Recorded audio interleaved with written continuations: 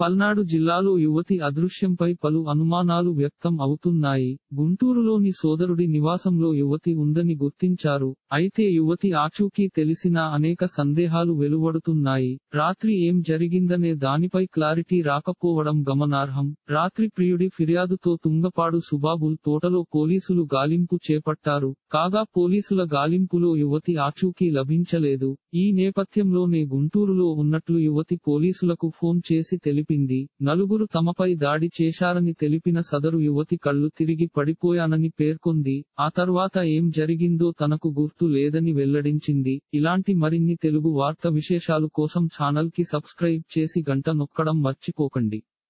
ఈ వీడియోని తోటి మిత్రులకి షేర్ చేయండి. మీ అభిప్రాయాన్ని కామెంట్లో తెలపండి.